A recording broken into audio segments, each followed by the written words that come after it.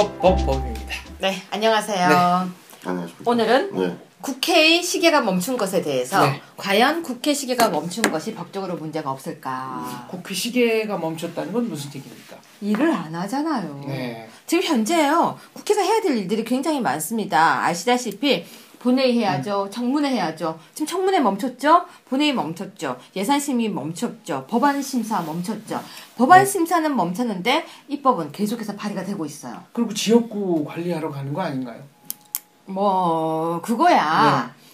해서 안될 행동이라고 제가 말을 하기 좀 뭐해서 일단 일단 있어 해야 될 일들 아무튼 일단 의무 이행을 하지 않고 있다. 네. 이거는 무노동 무임금 법칙이 적용돼야 되는 거 아닙니까?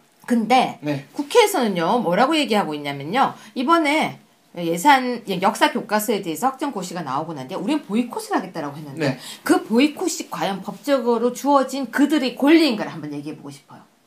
권리입니까? 이거 권리라기에는 좀 그냥 마음대로 얘기해 봐요. 괜찮아요. 권리 같아요? 보이콧하고 안 한다는 거, 어.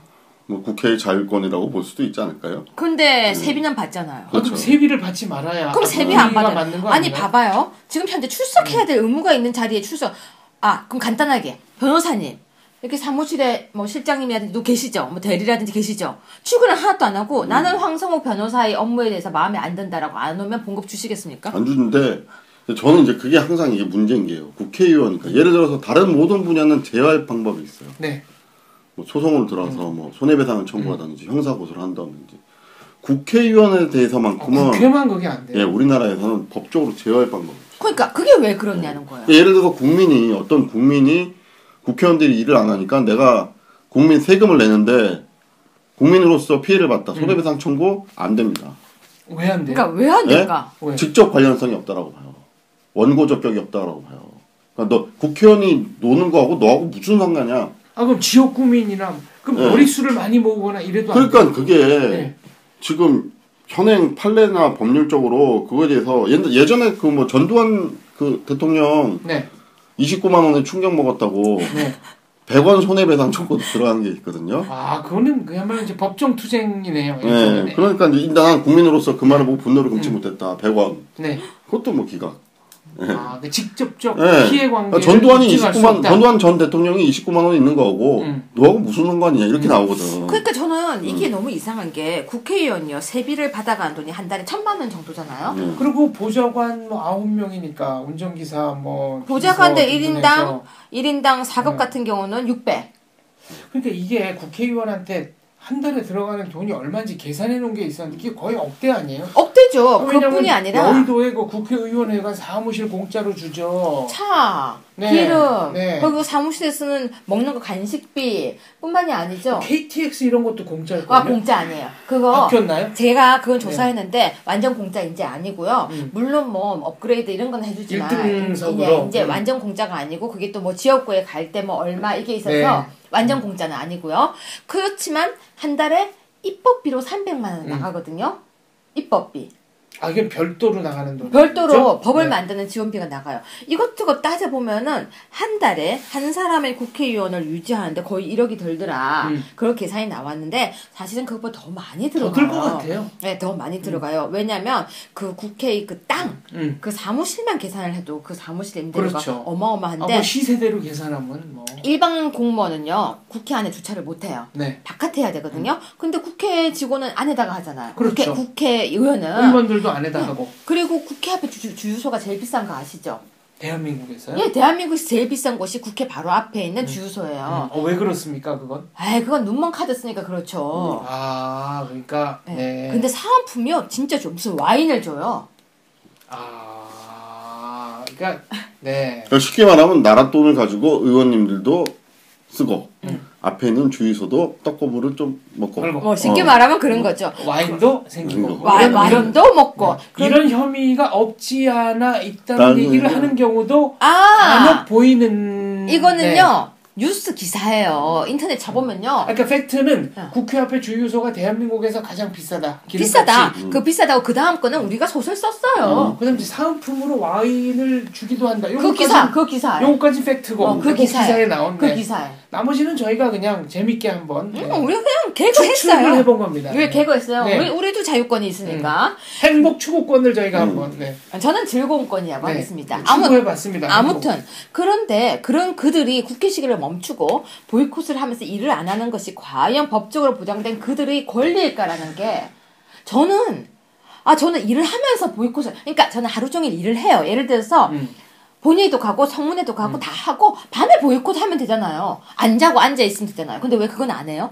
이게요, 사실은 보면, 저는 약간 유 교수님하고 생각은 좀 다른데, 음. 현실에서 이제 문제가 발생을 하는 것이죠. 그러니까, 보이콧 하는 것도 저는 사실상 야당 의원의 권리라고는 봐요. 음. 보는데, 이제, 국회에 대해서는 국민의 대표니까 이것을 제어하는 방식이 법적 제어가 아니라 전부 정치적 제어란 말입니다. 그러니까 임기 제도라든지, 뭐, 당내에서의 어떤 경선이라든지 이런 걸로 이제 하는데, 우리나라 가장 큰 문제점이 지역으로 갈라져서 기득권화가 되어 있는 영역이 있어요.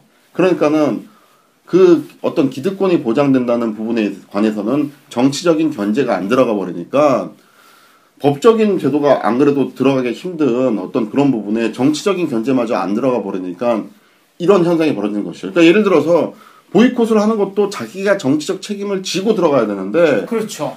자기가 이런 짓을 해도 떨어질 위험이 없다라는 생각을 하고 있는 거예요. 그러니까 특정 예. 지역, 예컨대 영남, 호남 뭐 네. 이런 특정 지역에서는 네. 우스갯소리로 막대기만 꽂아놔도 당선된다는 곳이 그렇죠. 있으니까 예. 그런 곳에서는 예. 공천만 통과하면 예. 당선이니까 그리고 입법권을 쥐고 네. 계시니까 예를 들어서 무노동 무임금 원칙을 음. 국회도 적용하자는 법률을 만들어 주시면 되는데 네. 안 만들겠죠.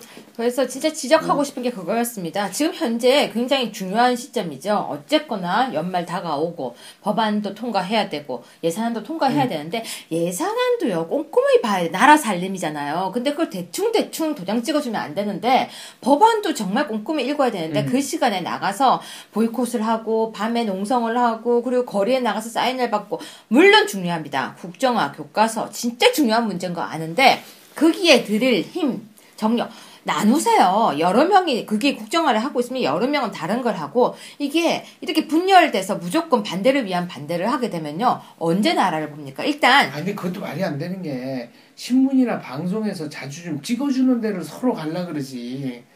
아, 묵묵히 일하면서 뭐 이게 실질적으로는 국익에 기여하지만 신문 아 방송에 안 나는 데를 왜 갈라 그러겠어요. 박사님은 역시 저보다 고수에 저는요 네. 저는 나눠서 가면 되는데 예를 들어서 박사님은 국정화 네. 가시고 저는 서로 거기 가서 할라 그러지. 저는 그냥 예를 들어서 뭐 본회의 가고 황변은 가가지고 법안 심사 가고 저는 너무나 단순하게 그러 네. 그게 아니구나. 아 오죽하면 정치인들한테는 자기 부고 기사 말고는 다 좋은 기사다라는 얘기가 있었겠어요.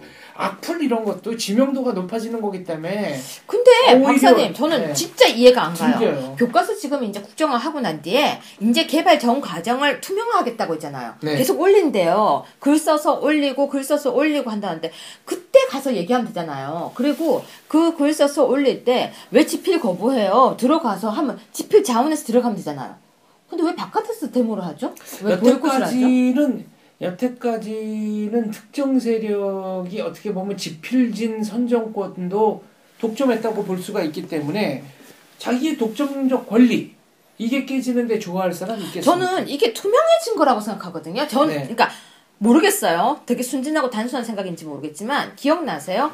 그때 사명권에 대해서 이야기할 음. 때 어, 성완종 문제였죠. 성완종 씨, 고 성완종 씨 문제였는데 사면권에 대해서 얘기할 때 성완종 씨가 사면해 달라고 부탁을 갔는데 들어주지 않아서 뭐 화가 났다. 이런 기사를 본 적이 있었거든요. 들어주면 안 되는 거 아니에요? 뭐 그건 정치적 판단이라고 아니죠. 생각을 했겠죠 본인들은. 어, 사면을 해달라고 하고 돈을 받고 그건 절대 안 되는 음. 거예요. 사면 방식에는 지금은 돈을 받고 또는 누군가의 부탁에 의해서 사면을 해서 안 되는 게 원칙입니다. 고성환종 회장은 연타석 사면이어서 그게 또 문제. 그게 문제되죠. 그러니까 사면을 안 해준 박근혜 정, 정부가 잘한 거예요. 제가 볼 때는. 그러면 이번에 역사 교과서를 투명화해서 정말 공개를 한다면 전 그건 진짜 잘 물론 물론 그 과정에 들어가서 또 싸움이 있을 수는 있겠지만 투명화 이때까지 투명하게 운영한 적 있습니까? 뭐 저는 거민정과 정도 네. 사실 투명하지 않았죠. 그쵸. 예, 예. 그래서 저는 투명하게 된 것만 해도 저는 우리나라가 한步발전했다라고 보는데요. 그 발전을 격려하지 못하고 이렇게 뒤에서 음. 보이콧하고 하고 있는 국회 이 분들이 세비를 받고 있는 것이 저는 억울해서 아니 그럼 저는 네, 어. 저는 그러면 기존의 거민정 어떤 분들이 거민정 위원으로 참여했는지 또 거민정 회의록 어떤 얘기가 어떻게 오갔는지 이거부터 한번 투명하게 저도요. 공개했으면 좋겠어요. 저는 그거 하고 네. 그리고 또뭘 했으면 좋겠냐면요. 누구의 주장으로 그렇게 해서 그 문장이 들어갔는지를 다 하고 아 그리고 거민정 위원도 누구 추천으로 거기 갔는지 다 그리고 투명하게, 거민정 네, 위원들이 제대로 못한 거잖아요. 밝히죠. 그들이 지금 네. 책임져야죠. 책임져야죠. 저는 그들도 지금 공개적으로 나와 사과하길 바래요. 저는 황우려 교육부 장관은 마치 남의 얘기하듯이 말씀하시더라고요. 그분이- 아, 본인이 교육부 장관인데 그분이 누구? 좀 우려할 만한 일이죠. 이거 예전에 국회 후진화법 통과시킨 분 아닙니까? 아, 그분이 누구? 저는 음. 이름을 들어도 누군지 모르겠어요. 왜냐하면 존재감이 지금 전혀 저는 되게 없어요. 놀랬던 게 황우려 의원께서는 헌법학 박사시더라고요. 근데 네. 황- 어, 근데 네. 황, 황우려예요. 황우 여군이야. 아까 아무튼 동성동본 아닌가요? 아, 모르겠어요. 그랬고 네. 헌법학 박사가 국회 후진화법을 그거를 합의를 했다는 게 너무 쇼크를 먹었어요. 아니 그러니까 지금 이게 이제 제가 뭐 개인적으로 저는 그분 뵌 적이 없어요. 어. 지나가다가 이제 뭐 어디 명함 드리는 정도 인연이 있었는지는 모르지만 개인적으로 뭐 시간을 같이 한 적은 단 한 번도 없는데 제가 좀 아쉬운 거는 그러면은 본인은 여태까지 교과서에 아무런 문제가 없었기 때문에 교육부 장관을 계속 수행한 거 아니에요. 그렇죠. 그리고 교과서를 바꾸려는 어떤 가시적 노력도 안 했습니다. 음. 그랬으면은 이렇게 문제가 생겼을 때, 아, 나는 아직도 거민정 교과서가 옳다고 생각한다. 그리고 자리를 던지고 나가든가, 그렇죠. 그래야죠. 나가든가, 네. 아니면은 내가 여태까지 정말 잘못 생각했다. 통렬한 반성을 하고, 이런 이런 점 때문에 내가 문제를 못 봤다라고 선언하고 국정화 작업에 들어가든가, 음. 이래야지, 이거는 뭔가, 뭔가 시류의 편승, 저는 좀 그런 느낌이 예, 들었어요. 상행선이 음. 많을 때는 상행선 타고 음. 하행선이 많을 때는 슬쩍 갈아타고 뭐 이런 거 같 은 이미지를 주는 거 자체가 아니 저는 그렇게 생각 안 했어요. 좀 있으면 선거니까 어차피 그만둘 거니까 그때까지 있는다 그 생각 아닐까요? 그런가요? 그러니까 아니 그래도 그래도 국정화 어쨌거나 교과서는 네. 내가 하는 게 아니라 박 대통령께서 하는 것이다. 나보고 비난하지 마라. 이런 느낌이 받아요. 아 그러면 차라리 소신 있게 그 얘기를 하라는 거예요. 그걸 어떻게 해요? 아니 내가 교육부 장관으로 있는 잠깐만요. 동안 잠깐만, 잠깐만요. 그박 대통령이 더 연세가 많으신가요? 황우려. 아, 그건 잘 모르겠는데. 아니, 그게 중요한 게 아니죠. 여기서 왜 나이가 왜 나옵니까? 지금 나이가 중요한 게 아니. 그러니까 꼭 저는 무슨, 저는 무슨 뭐, 어? 사람 나고 돈 났지, 돈 나고 사람 났냐, 이런 얘기 하는 아니, 뭐, 분들이 있는데, 아, 돈이랑 사람 나이를 거기서 왜 따져? 뭐 박사님 박사님 나이를 따. 박사님 아까는 기운 하나도 없다가 왜 아, 갑자기 저 카메라만 돌아가면 변해요. 아니거든요. 아까는 카메라 있어도 기운 하나도 없었거든요. 밥 먹었으니까. 그 아- 네. 박사님 진짜 카메라가 아니고 박사님은 밥비에 밥. 아 이게 지금 제가 흥분해서 그러는데 아니 그러니까 교육부 장관으로 있을 때 그리고 본인이 뭐 국회 다선 의원 아니에요. 여태까지는 여기에 대해서 이런 반구도 문제 제기 한 적이 없잖아요. 근데 마치 지금 이제 유턴을 했는데 이 유턴을 하면서 내가 왜 유턴을 했는가에 대한 설명, 선언 이런 게 없고 이런 게 없고 거민정 교과서 잘못됐으니까 이제 국정으로 가겠다 이래 버렸단 말이에요. 그럼 그 이전의 태도랑 뭐 대통령 한마디에 이렇게 쓱쓱 바뀌는 겁니까? 아 이게 말이 안 되잖아요. 교육부 장관이면 그래도 저는 그래서 나이를 물어본 거예요. 박 대통령이 더 마- 나이가 많으시면 뭐 누나가 나이에 밀렸다? 어, 누나가 누나가 시켜서 어쩔서 지금 황변이요. 지금 저 들으라고 하는 거예요. 제가 아, 가끔 제가 네. 가끔 그러거든요. 해 이러거든요. 아니 그러면 그러니까 그 점이 그 점이 저는 굉장히 아쉽다. 아니에요. 박사님 있잖아요. 저는 이번에 이걸 보면서 줄다리기 게임이 생각이 났어요. 네. 여러 팀이 이렇게 한 20명, 30명, 뭐 30명, 30명이 줄다리기 게임을 할 때 앞에서 엄청 열심히 땡기는 사람이 있어요. 막 죽으라고. 음. 맨 뒤에서 보이지 않아 땡기는 사람이 있어요. 정말 근데 맨 앞에 서서도요, 손에 힘 하나도 안 주고 이러면서 줄딱 땡길 때 어떤 자세, 으 하는데 손은 힘 하나도 안 네. 주는 사람이 있어요. 저는 그런 사람이 싫다고 얘기를 하면서 오늘 마무리했습니다. 그건 표정으로 공격하는 거겠죠. 아 그러니까 저는 음. 저는 이제 교육부 장관 국사편찬위원장 중요한 그 나라의 녹을 먹는 분이잖아요. 적어도 이 정도 되면은 책임감을 가지고 소신 있게 발언을 하고 행동을 하셔야지 마치 이 문제가 표면화되기 전까지는 그러니까 대통령이 국회 시정연설에서 뭐 강력한 발언을 하고 이러기 전까지는 뭔가 뜨뜻 미지근한 태도를 보이다가 시정연설 끝나고 나니까. 그러고 나니까 갑자기 태도가 바뀐 것처럼 그러면 보인다. 박사님 시정연설 할 때 노트북에다가 여기다가 네. 이렇게 뭐 뭐 안 된다고 써가지고 이렇게 붙였던 분들이 우리나라 국회의원이었어요. 아 그러니까 저는 그러니까 저는 네. 저는요 박사님은 기대가 너무 커요. 아 일관성이 있어야 된다는 얘기를 하는 거예요. 일관성이 어디 있어요? 거기서 일관성이 어디 있어요? 그리고 노래 그거 하나만 불러주세요. 안 되는 줄 알면서 왜 그랬을까? 안 되는 줄 알면서 왜 그랬을까? 그거예요. 안 되는 줄 알면서 왜 그랬을까? 요 다음 가사가 중요합니다. 뭐예요?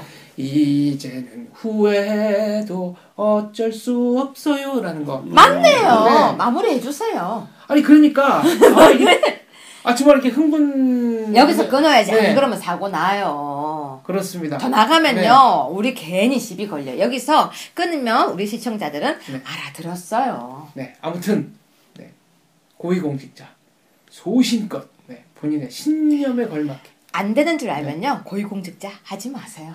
아, 이게 제 얘기는 그거예요. 그러면은 또 시류에 편승해서 뭔가 다른 흐름이 생기면 또 언제 그랬느냐는 듯이 다시 그, 수 우리가 감시, 아니냐. 우리가 감시하자고요. 네, 네, 우리가 감시하자고요. 그렇습니다. 네, 우리가 감시해. 우리가요, 우리가 이거 하는 이유가 그거죠. 우리라도 말을 해서 감시 기록을 남기는 거죠. 알겠습니다. 흔히 우리가 시속, 그러니까 속도라는 개념을 가지고 얘기할 때는 어떤 물체나 개인이나 이것이 어느 한 방향으로 꾸준히 나갈 때 이 속도를 측정할 수 있는 겁니다. 왔다 갔다 자꾸 유턴하면 순간 속도는 빠를 수 있을지 모르지만 속도라는 개념 성립하지 않습니다. 방향성을 가져주십시오. 방향성을 가져주세요. 오늘의 명언이었습니다. 감사합니다. 감사합니다.